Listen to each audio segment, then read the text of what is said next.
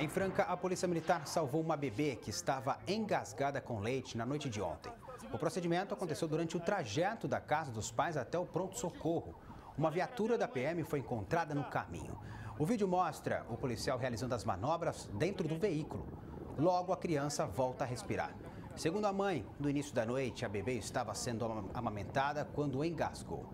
Ela foi levada para o pronto-socorro infantil e, felizmente, passa bem.